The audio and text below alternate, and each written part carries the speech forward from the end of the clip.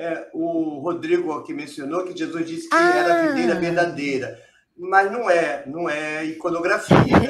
Exato. Não é, é, exatamente, não tem nenhuma é, iconografia relacionada.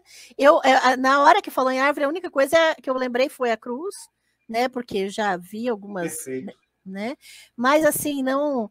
Isso são construções das comunidades, essas falas de Jesus, né? Eu até, quem quiser saber mais, faz o meu curso de leituras do Novo Testamento porque também, assim como nós fazemos com a Bíblia hebraica, nós precisamos ler os textos no contexto de suas produções, né, de suas elaborações, da, no contexto em que eles foram juntados para formar aqueles livros, né? Então a gente precisa também entender esses processos.